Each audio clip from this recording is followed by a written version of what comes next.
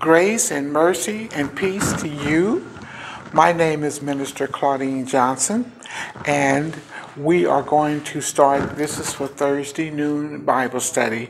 But first, I want to say Happy New Year to all those that I haven't seen. And it's been a while since I've taught, so I can say Happy New Year to you. And I hope you had a blessed new year. So we're going to start with the opening prayer, and then we're going to get into the scripture today. Uh, the title of my message today is Is God Your Shield? And my foundation scripture is coming out of Psalms 3. So we're going to start with opening prayer. Father, we open this Bible study right now, acknowledging your presence in our midst. Help us to find fulfillment in your presence and help us to live in such a way that our lives serve as a reflection of your own grace and mercy. Teach us to seek you first, your kingdom, and in a life that brings glory to your name. In the name of Jesus. Amen. Amen. Amen. so I don't know how many of you guys are excited about us starting a new year of 2022. I know in the beginning it has been kind of rough for some. And right now I know we're getting some ugly weather on the East Coast, but you know, God is still in control. Okay, so let's get started on our message. And like I said, the title is called God is Your Shield, or He is My Shield.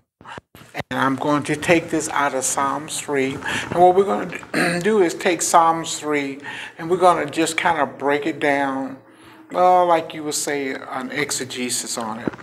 And so, and the purpose of my message is to give you a better understanding of what was going on, and say, in David's life, and then why he wrote this Psalms. And it lets us know that there are things that also goes on in our life, but we still need to hold on to God.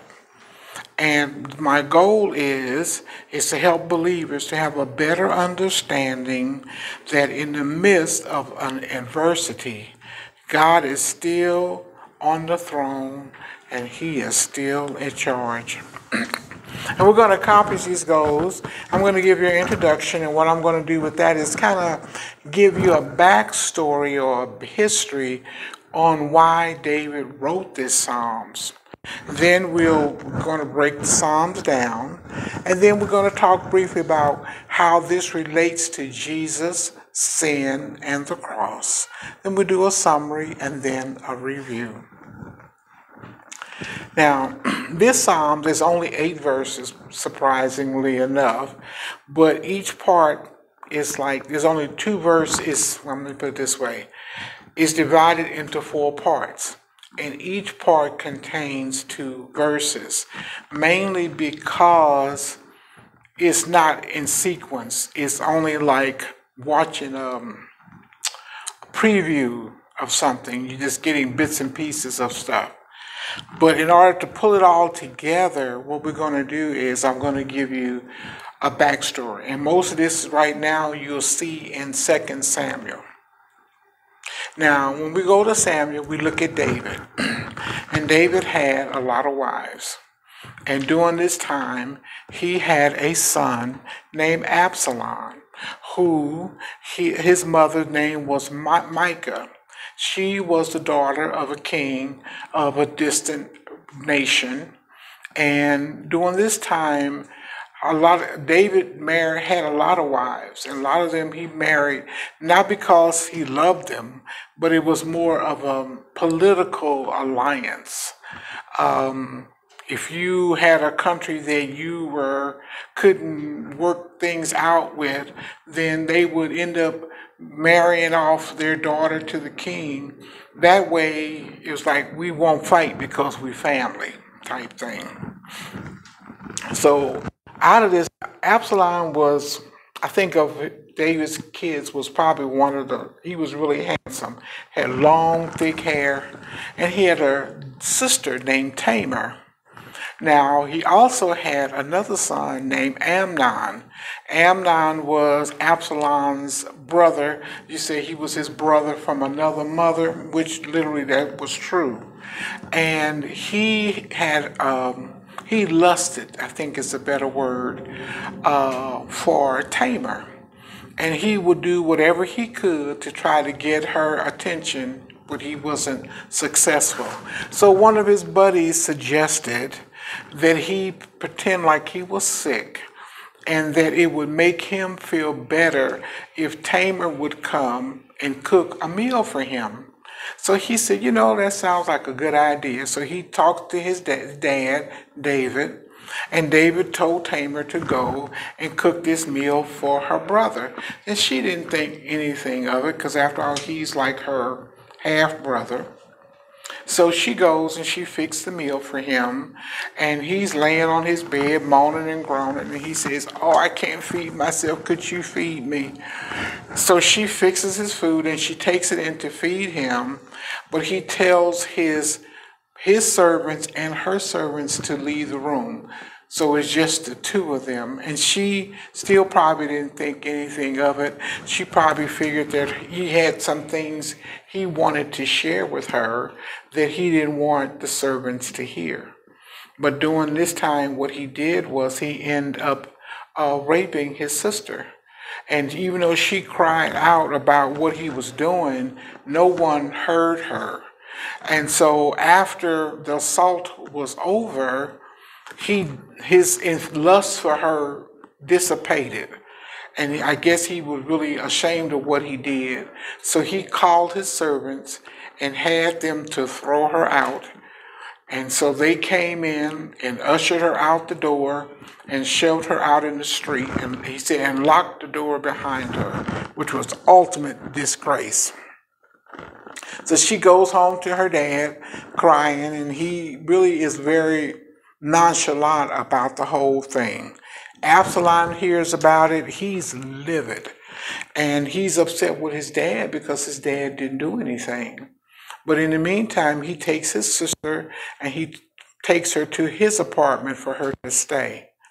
And during this time, it was a sad thing for this to have happened to her, meant she was no longer eligible to get married. So that meant that she was are destined to be a single woman the rest of her life, which means her brother would end up taking care of her. So Absalom waited patiently up for two years, waiting for David to reprimand his brother, and it didn't come. But during this time, his resentment toward his dad and toward his brother became increased, steadily increased. So he came up with another plan, and this plan was he was going to have a large feast. And with this feast, he wanted to invite all of his half brothers and step brothers to come. And so David reluctantly let them all go. All, and I don't remember how many of them was crown prince, but it was more than just Absalom and Amnon. It was several dozens of them. So they all go to this feast, and while they're at the feast, Absalom has his brother Amnon killed. So they all come running back in a panic, you know, thinking they're going to be next, which was didn't happen. And so Absalom, after this deed was happened, he escaped and went and went and hid out, hid out in the wilderness. And he was out there for a while, at least a year or two. David mourned the, the death of his son Abdon, and then after a while, he started begging Absalom to come back. And for a while, Absalom was kind of concerned because he thought his dad was using that as a hidden agenda to get him back in the castle so he could kill him. But as time went on, I think he realized his dad was really sincere. So he did come back, but he came back with another plan.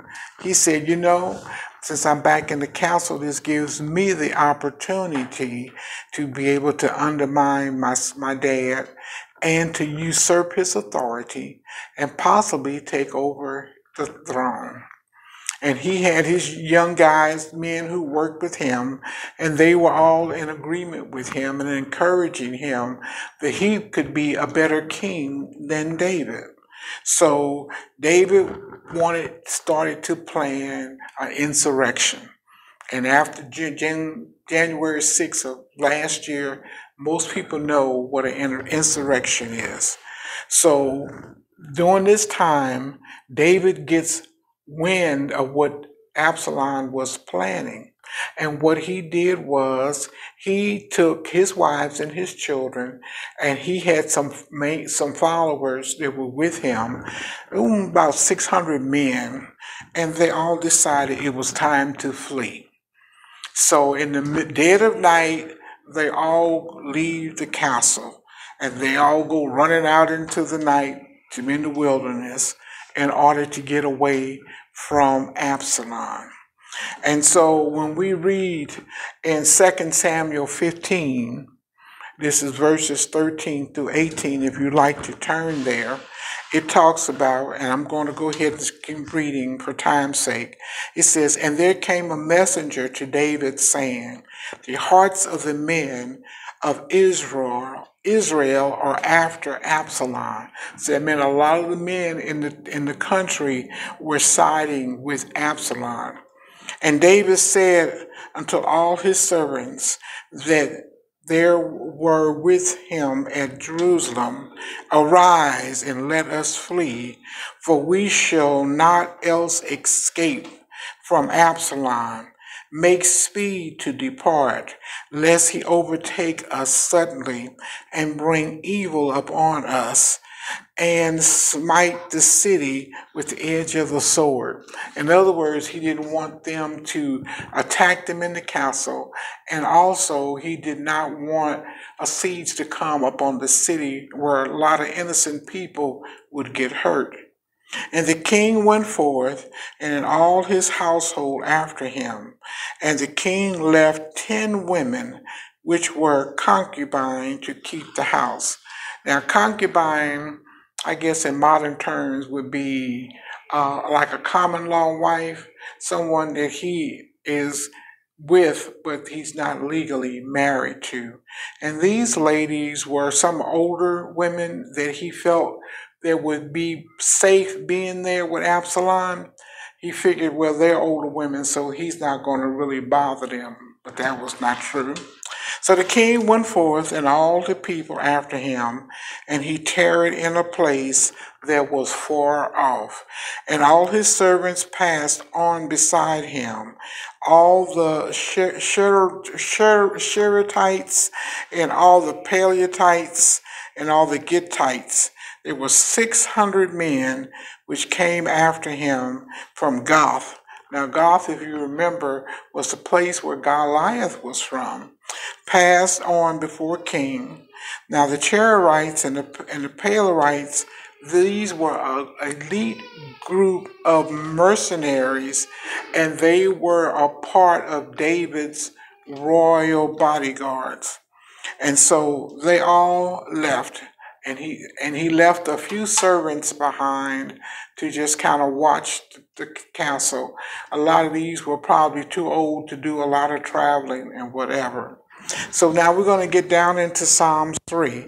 And the first verse it says, Lord, how are they that increase who trouble me?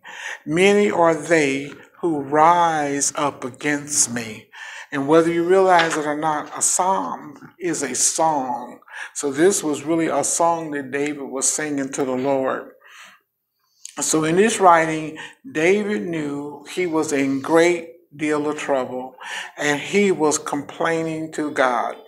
And he mentioned before, as I mentioned before, his own son Absalom was leading an insurrection against him.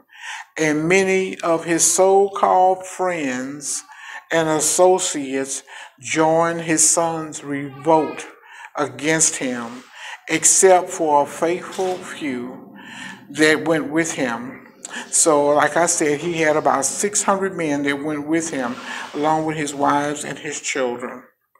And in verse 2, we talked about it says, Many are they who say of me, There is no help for him in God. And it said, Selah. Now, Selah means to pause and think calmly about this. Now, David's had some so called friends, and they felt that they knew better about what the situation was all about than David did. And they, um, even though they were with him, they were trying to make him feel bad about himself, that it was his fault that this was happening to him. And he believed, and David kind of believed along with them, I think, deep down. Because after all, he was, because of his lack of response for the rape of Tamar, his daughter, and also because he had committed adultery with his wife Bathsheba. So he felt like these were God's way of getting back at him was because he allowed these two incidents to go on without making correction. so David and a lot of people end up committing suicide rather than seeking God or even if they know that there is a God. In 1 Corinthians 10 13, it says, And there have no temptation taken you, but each but such as common to man. But God is faithful, and who will not suffer you to be tempted above that ye are able, but will with the temptation also make a way of escape that we may be able to bear it. So he lets us know that in spite of what the circumstances are, if you will cry out to God, there is a way out. It may not seem like it in the beginning, but there is. In verse 3, it says, But thou, O Lord, art a shield for me, my glory and the lifter of my head. So, in spite of the desperation from the family, desertion, I'm sorry, from the family and the friends, and being tormented by others, David knew that God had not deserted him and that God was still his shield. And we know that a shield is a hedge of protection that surrounds a person when they're in battle to protect them from arrows and spears that are thrown at them. How many times have you been in difficult situations and people have wondered, how come you stay so calm? It's because of that shield, that hedge of protection that God has placed around us. He said, regardless of all of that, David had confidence in God and could and that could not be shaken.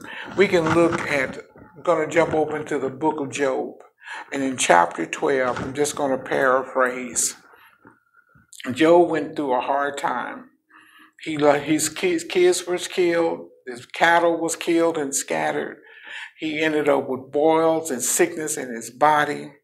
And to top it all off, his wife ends it and says, Why don't you just curse God and die? Then he has three friends to show up to there to console him.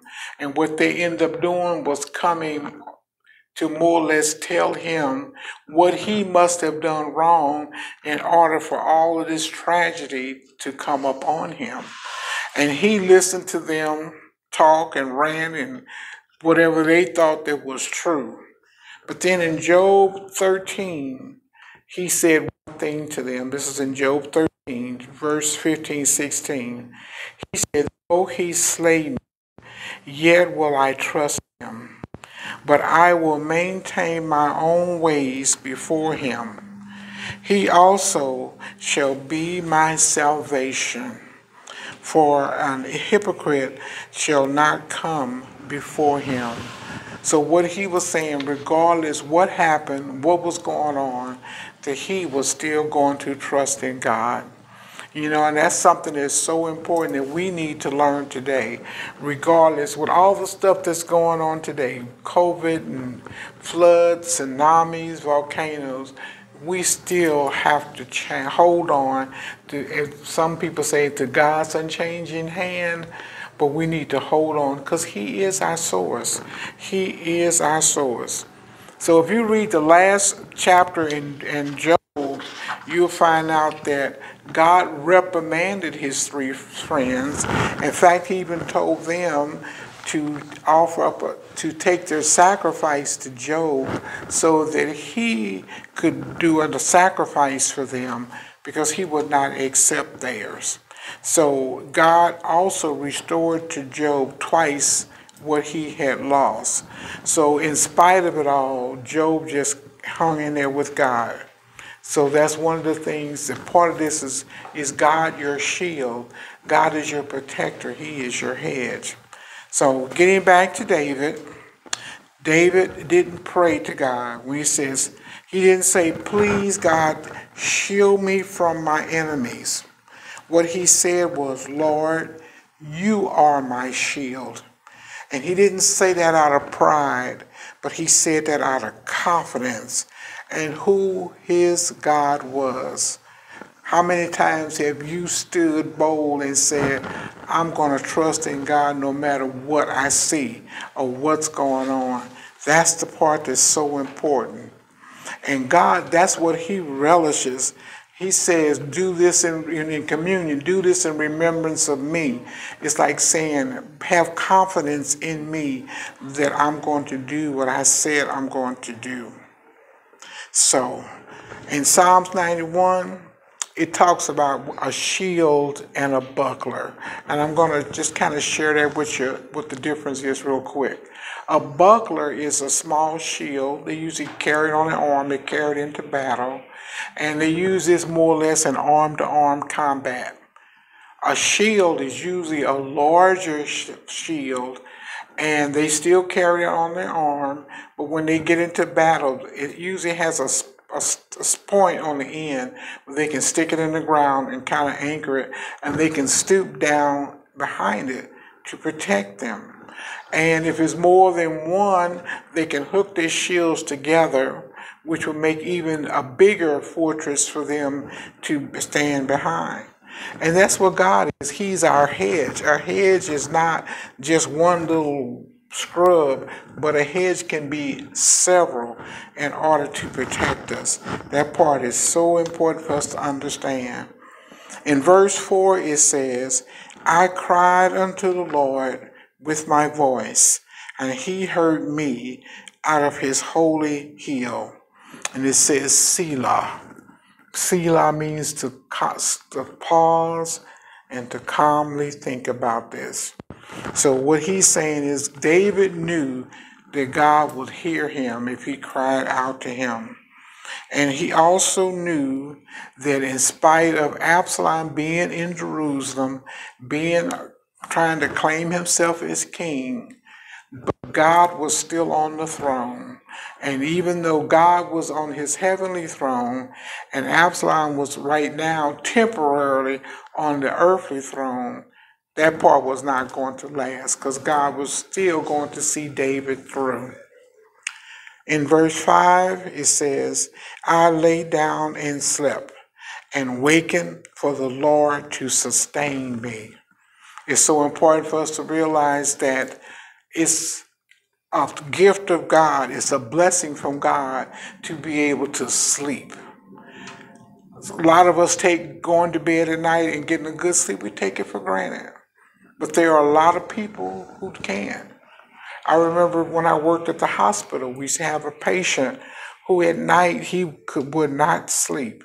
We would give him sedatives to try to get him to sleep, give him a bath to calm him down, and he would still be putting his call light on at night because he couldn't sleep. And one night I went in the room, we had done everything we could for him, gave him a back rub, gave him his medicine, whatever. I said, Mr. Smith, I'm just going to use the name Smith, that's not his real name. I said, Can I pray for you? And he said, Sure. So I prayed and bound up that little spirit little tormenting spirit in his life and told him, Now I want you to go to sleep and I'll see you in the morning. And he turned over and he slept. He said, Nurse, that was the best sleep I've ever had. So the next night, I was off and he kept telling I need to talk to that nurse that was here last night so she can pray with me so I can sleep. I hope the man one day found out what was going on and was able to get his life together. And over the phone, I prayed for him for him to get another night's sleep.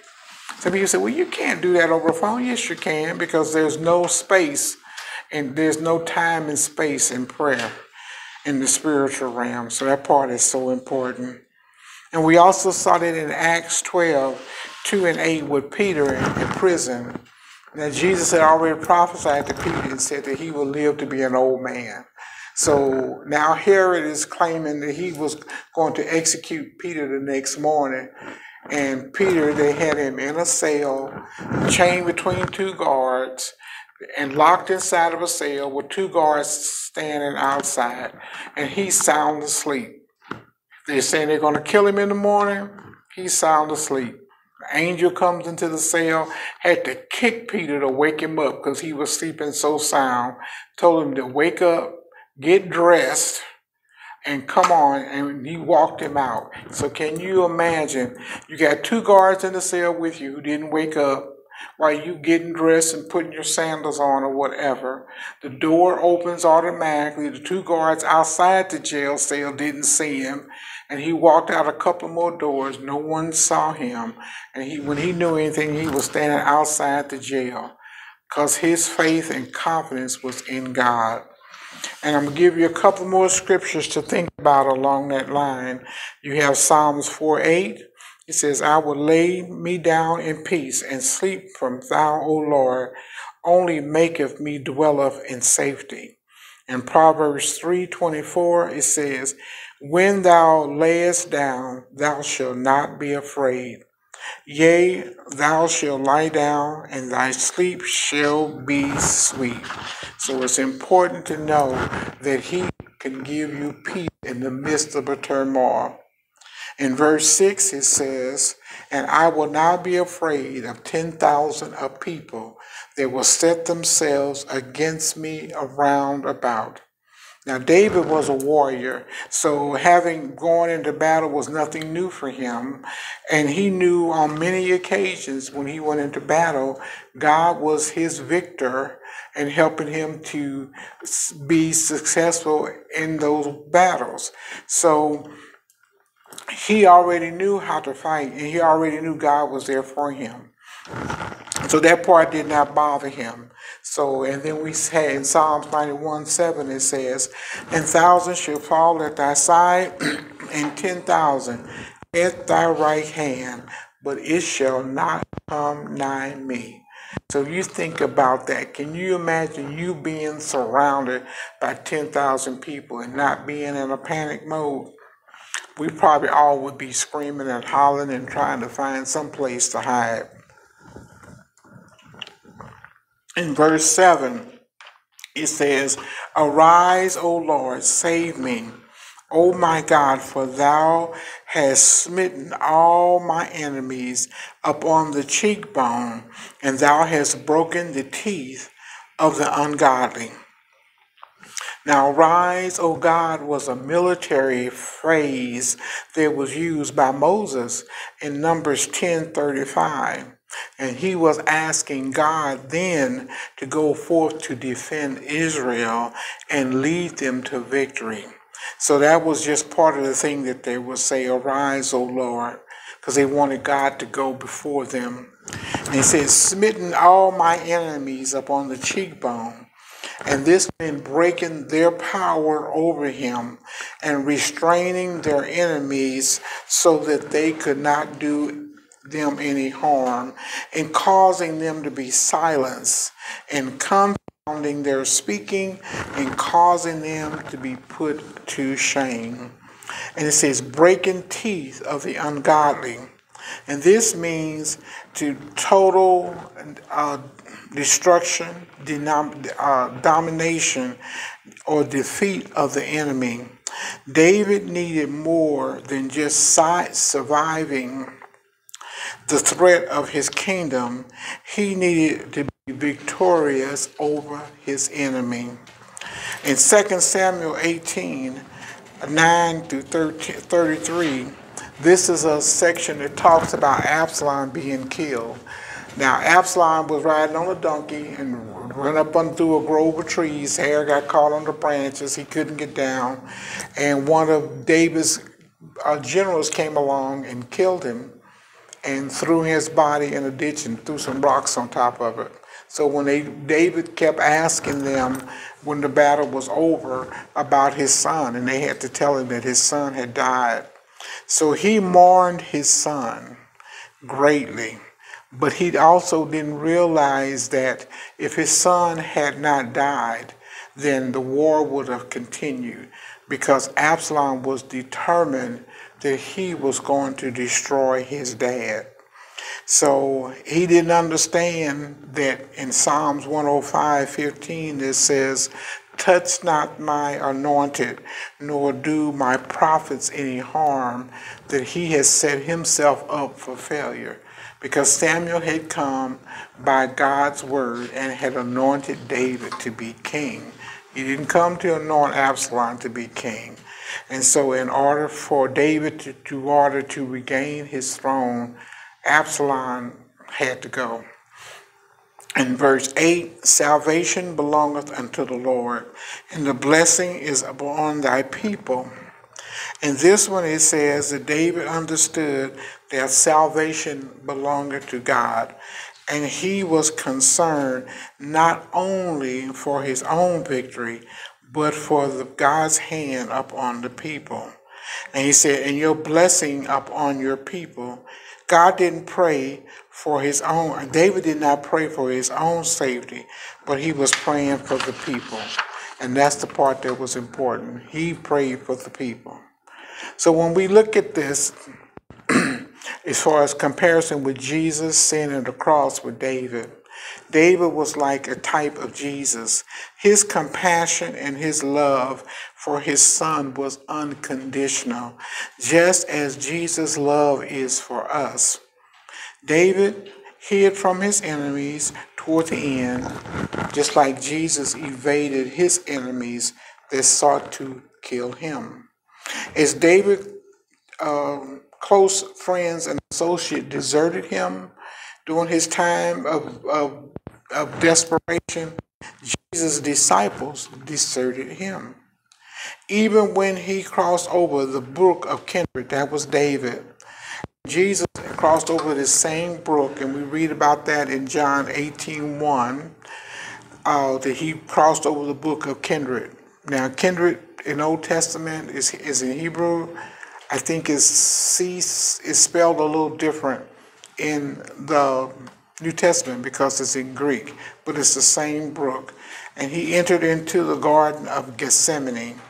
But even there, he was still surrounded with enemies. Jesus continued to show his unconditional love for us by dying on the cross. And God the Father was Jesus' glory and lifter of his head after he went through this terrible ordeal for us just as he was for David. And Jesus was lifted back into his position and honor in heaven, just as David was placed back on his earthly throne here on earth as king. So, in summary, we see how, in spite of the turmoil and drama that David went through, his trust and belief in God did not waver. So, my question to you is if you were in David's shoes, who would you trust? Would your trust be in God or would your trust be in man? Selah, think about it. So, in review, we covered the verses, and I said we went through Psalms 3 1 through 8. We covered verses in Sam, 2 Samuel 15, 13 through 18, 1 Corinthians 10, 3, Job 12, Psalms 91, Acts 12, 2 through 8, Psalms 4 and 8, Proverbs 3, 24, Numbers 10, 34, 2 Samuel 18 9 through 13, Psalms 105 15, and John 18 1. So that's the end of my message, and I thank you for your time. So now what we're going to do, I'm going to ask you, since we have a few minutes, and we will talk about God being your shield, but in order for him to be your shield, you have to be one of his children. So my question to you today is if you have accepted Jesus as your personal Lord and Savior. And if you haven't, well, guess what? You have that golden opportunity to do that right now. You don't have to wait and go to church and sit through two or three song choir selections and whatever, but you can accept Jesus now. And during this time of pandemics and stuff, it's always good to be on the winning team. So if you would bow your head with me and repeat this prayer, I would greatly appreciate it. God in heaven, I come to you in the name of Jesus. Your word says, Him that cometh to me, I will in no wise cast out. So I know you won't cast me out, but you take me in, and I thank you for it. You also said in your word that if I should confess with my mouth the Lord Jesus, and shall believe in my heart that God has raised him from the dead, thou shalt be saved. I'm confessing with my mouth, and I believe in my heart that Jesus is the Son of God, and he was raised from the dead for my justification. And I receive him right now as my Lord and Savior. You also said in your word that if I were asked for the Holy Spirit, you would give him to me. I am asking you right now to fill me with your Holy Spirit. So I thank you for saving me and for filling me with your precious Holy Spirit in the name of Jesus. If you just repeated that prayer and you were truly sincere, then congratulations. Welcome to the family. You are now a child of the King. And we thank you so much, and the angels in heaven are rejoicing. And I would like for you, if you don't mind, if you said this prayer for the first time today, that you let give us heads up on, on that you did. If you don't mind, you can contact us at the number at the bottom of the screen or on our website. You will also see our website and let us know that you've accepted Jesus. And we would be more than happy to send you some information to help you on your journey. And if you like, you can always come and join us. We do have service on Sundays. So if you would like to join us, you are more than welcome. But you can call the number and get directions on the times and for the services. So right now, if you don't mind, we're going to do a closing prayer. And then you can carry on with your day.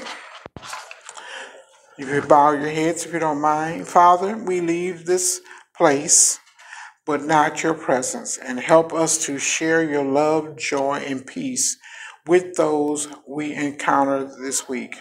Teach us how to pour God's abundant goodness upon our families, friends, and colleagues. Help us to be hands to help others, be words of encouragement to those who are oppressed, and the arms of comfort to the hurting. We thank you that your favor has no end and it lasts for a lifetime. We ask that your face should shine upon us and that you should open the doors of our lives and for our loved ones. We thank you for a hedge of protection around our loved ones and ourselves as we move through our day. And we give us a heart of wisdom to hear your voice and to make us strong in your grace and mercy. In the name of Jesus.